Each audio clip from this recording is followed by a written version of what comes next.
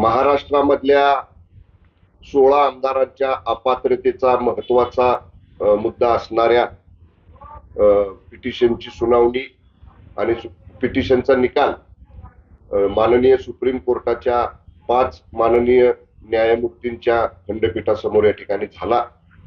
आणि सगळ्यात महत्वाचं म्हणजे या सोळा माननीय आमदारांच्या अपात्रतेबाबतात बाबतचा निर्णय हा माननीय विधानसभा अध्यक्षांच्याकडे या ठिकाणी सोपवण्यात आलेला आहे. जी गोष्ट आम्ही सुरुवातीपासून सांगत होतो की आमदारांचं डिस्क्वालिफिकेशन किंवा आमदारांचं अपात्रता याचा निर्णय घेण्याचे अधिकार हे माननीय विधानसभेच्या अध्यक्षांना आहेत त्यामुळं आम्ही जी भूमिका घेतली होती ती भूमिका कायद्याला धरून नियमाला धरूनच होती हे आजच्या माननीय सुप्रीम कोर्टाच्या निकालावरून स्पष्ट झालेलं आहे. माननीय सुप्रीम कोर्टाने या संपूर्ण सत्ता संघर्षाचं प्रकरण आता काही मुद्दे उपस्थित करून सात माननीय न्यायमूर्तींच्या खंडपीठाकडे या ठिकाणी सोपवलेलं आहे. या सर्व बाबतीतला माननीय सुप्रीम कोर्टाच्या निकालाचं आम्ही स्वागत करतो. माननीय सुप्रीम कोर्टाच्या निकालाचा आम्ही आदर करतो. आणि जी मंडळी विशेषतः उद्धव गटाची सतत सांगत होते की हे सरकार या आठ दिवसात जाणार हे सरकार कोसळणार माननीय मुख्यमंत्री आणि सोळा आमदार अपात्र होणार हे किती चुकीचं होतं हे आजच्या माननीय सुप्रीम कोर्टाच्या निकालावरून स्पष्ट झालेलं आहे. ज्या बाबी अपात्रतेच्या बाबतीत माननीय विधानसभा अध्यक्ष महोदयांच्या सोबत येणार आहेत त्या बाबतीत माननीय विधानसभा अध्यक्ष महोदयांनी याच्या आधीच स्पष्ट केलेलं आहे की मी सगळ्यांना समान संधी देईल सगळ्यांना त्यांची बाजू मांडायची संधी उपलब्ध करेन. आणि कायद्याच्या नियमाच्या आणि विधिमंडळाचं जो नियमाचं नियम आहे त्याच्या अधीन राहूनच मेरिटवरती मी निर्णय घेईन असं माननीय विधानसभा अध्यक्ष महोदयांनी स्पष्ट केलेलं आहे. या उलट जर आपण पाहिलं तर उद्धव गट याच्या अगोदर माननीय उद्धव गट याच्या अगोदर म्हणत होते की विधानसभा उपाध्यक्षांच्याकडे हा निर्णय जाणार आहे. आणि विधानसभा अध्यक्ष आणि विधानसभा उपाध्यक्ष सुद्धा हे न्याय आसनावर जेव्हा बसतात तेव्हा ते न्यायालयाच्या न्यायाधीशाच्या भूमिकेमध्ये असतात. पण आपल्यासमोर प्रकरण यायच्या अगोदरच आत्ताचे विधानसभा उपाध्यक्ष मान्य श्री जिरवळ साहेब यांनी अगोदरच स्वतःकडं सुनावणी यायच्या अगोदरच सांगून टाकलं होतं की हे सोळा आमदार अपात्र होणार. म्हणजे प्रिज्युडाईज माइंड ज्याला आपण म्हणतो पूर्वग्रह दूषित ज्याला म्हणतो तशा पद्धतीचं वक्तव्य हे आताच्या उपाध्यक्षांनी केलेलं होतं. त्यामुळे ही मंडळी किती आतुर झालेली आहेत. आता ताईपणा कसं करतात याचं एक छोटस हे उदाहरण आहे. मी एवढंच सांगेन की बाकी सगळ्या ज्या बाबी आहेत त्या आता त्याची ऑर्डर जेव्हा बाहेर येईल आजच्या माननीय सुप्रीम कोर्टाच्या निकालाची ती ऑर्डर आम्ही बारकायनं वाचू त्याचा अभ्यास करू त्याचं अवलोकन करू. दिल्लीमधली मुंबईमधली आमची माननीय वकिलांची जी टीम आहे ती सगळे याच्यावरचा त्यांचं मत हे आम्हाला कळवतील. आणि निश्चितपणानं न्यायालय माननीय सुप्रीम कोर्टाच्या निर्णयाचं आदर निश्चितपणे आमच्याकडनं केला जाईल हे मी या ठिकाणी सांगतो. तर त्या त्याचबरोबर माननीय सुप्रीम कोर्टाने आज हे देखील सांगितलेलं आहे की पक्षाच्या बाबतीत निर्णय घेण्याचे अधिकार स्वतंत्रपणानं केंद्रीय निवडणूक आयोगाला आहेत. त्यामुळे हीही बाजू एक समजून घेण्यासारखी आहे.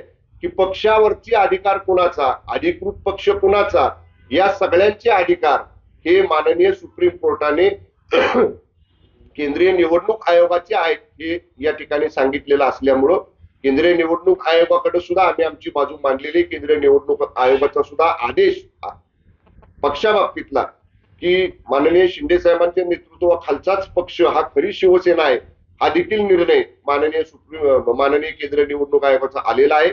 त्यामुळे या संपूर्ण निकालाचं निकालाकडे जर पाहिलं तर एवढंच मी म्हणेन की निकालामध्ये आम्ही आम्ही त्या निकालाचं स्वागत करतो. सरकार सरकारला कुठलाही धोका नाही. जी मंडळी गेली महिनाभर राज्यामध्ये अस्थिरतेचं वातावरण आहे अशा पद्धतीचं सांगायचा प्रयत्न करत होते. त्यांचं किती चुकीचं होतं हे यावरून स्पष्ट झालेलं आहे.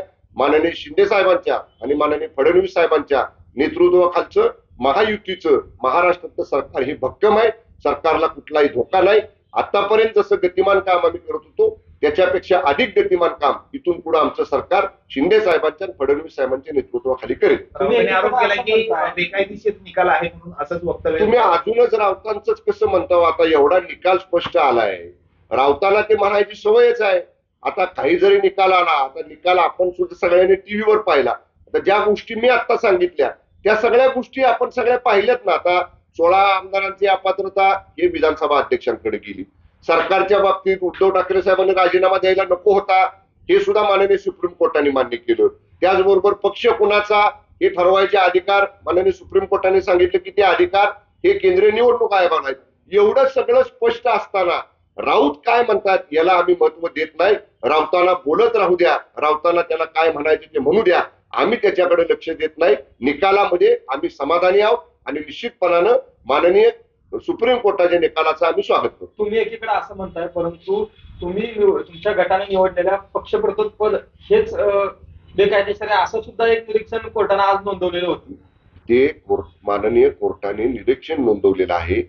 त्यानंतरच्या काळामध्ये आम्ही ज्यावेळी भरत गोपावलेंची नियुक्ती केली त्यावेळी पक्षामध्ये दोन दोन गट होते की पक्ष कुणाचा वादाचा विषय होता तो वाद हा माननीय केंद्रीय निवडणूक आयोगाकडे गेला आणि त्याच्यानंतर केंद्रीय निवडणूक आयोगाने निर्णय दिला की पक्ष हा अधिकृत शिंदे साहेबांच्या नेतृत्वाखालचाच पक्ष हा अधिकृत आहे. त्यामुळं आम्हाला आमच्या मतानुसार अजूनही आम्ही निकालाची अधिकृत प्रत प्रतची वाट बघतोय. जेव्हा ती प्रत येईल तेव्हा त्याचा अभ्यास करू. आणि मला माझं जे मत आहे पंधरा वीस वर्षातल्या संसदीय कामकाजाच्या अनुभवावरनं की विधिमंडळातला पक्ष पक्षाचा प्रतोद हा सुद्धा निश्चितपणानं विधानसभा अध्यक्षच त्याला मान्यता देत असतात. या सगळ्या माननीय सुप्रीम कोर्टाच्या निकालाची सगळी बाजू तपासून घेऊ त्याचं अवलोकन करू आणि जे आम्हाला आमचं म्हणणं मांडायचे ते माननीय विधानसभा अध्यक्षांसमोर आम्ही मांडू. निर्णय जो आहे तो विधानसभा अध्यक्षांनी घ्यावा असं कोर्टाने देखील सांगितलं आहे. हो ना मग मी बोललो ना त्याच्यावर. मी त्याच्यावर तेच बोललो आमचं तेच मत होतं की विधानसभेच्या माननीय सदस्यांचं डिस्क्वालिफिकेशन करणं किंवा माननीय विधानसभा सदस्यांना अपात्र ठरवणं हे अधिकार माननीय विधानसभा अध्यक्षांचे असतात. त्यामुळं आमचं तेच म्हणणं होतं की माननीय विधानसभा अध्यक्षांनी मेरिटवर हे सगळं गुणवत्तेवर हे सगळं तपासावं. योग्य प्रत्येक आमदाराला त्याचं म्हणणं मांडायची संधी द्यावी. नियम कायदा विधिमंडळाची नियम पुस्तिका हे सगळं आम्ही माननीय विधानसभा अध्यक्षांसमोर आम्ही मांडू. आणि माननीय विधानसभा अध्यक्ष महोदयांनी सुद्धा सांगितलेलं आहे की मी सगळ्यांना समान संधी देईन. त्यामुळे आम्हाला विश्वास आहे आमची बाजू सत्याची आहे आमची बाजू न्यायाची आहे आमची बाजू बहुमताची आहे आम्हाला निश्चितपणाने न्याय मिळेल विधानसभा अध्यक्षांच्याकडनं असा मला विश्वास आहे. नैतिकता जरा तरी बाकी असेल तर मुख्यमंत्र्यांनी राजीनामा द्यावा अशी संजय राऊत मागणी करतायत. आम्ही आता त्या संजय राऊतांच्या मागणीकडे बघत नाही त्यांच्या प्रश्नाकडे उत्तर देत नाही निकाल स्पष्ट आलेला आहे सरकारला कुठलाही धोका नाही सरकार भक्कम आहे आणि सरकार याच्याही पेक्षा अधिक गतीनं इथून पुढच्या काळात मान्य शिंदे साहेबांच्या फडणवीस साहेबांच्या नेतृत्वाखाली काम करेल. तत्कालीन होते. फ्लोर टेस्टचे असतील किंवा इतर काही. तर सर्व निर्णय चुकीचे अशा प्रकारे सुद्धा सुप्रीम कोर्टानं राज्यपालांना फेटाळले फिटकारले. नाही नाही. याच्या बाबतीत माननीय तत्कालीन राज्यपाल महोदयच आपलं मत देऊ शकतील. माननीय राज्यपाल महोदयांच्या कृतीवरती त्यांच्या निर्णयावरती आम्ही बोलणं योग्य नाही. परंतु आपण हे का लक्षात घेत नाही की माननीय सुप्रीम कोर्टानं हेही सांगितलं की उद्धव ठाकरेंनी मुख्यमंत्री पदाचा राजीनामा दिला नसता तर कदाचित आम्हाला वेगळी भूमिका घेता आली असती. त्यामुळं माननीय उद्धव ठाकरेंचा राजीनामा हा निश्चितपणानं त्यांनी स्वेच्छेनं स्वतःहून त्या पदाचा त्याग केला आणि म्हणून नवीन सरकार आलं हे सुद्धा माननीय सुप्रीम कोर्टाने आजच्या निकालामध्ये म्हटलेलं आहे. त्यामुळं आमचं सरकार शिंदे साहेबांच्या फडणवीस साहेबांच्या नेतृत्वाखालचं हे कायदेशीर आहे. घटनेप्रमाणे निर्माण झालेला आहे बहुमतातला आहे. या सरकारला कुठलाही धोका नाही.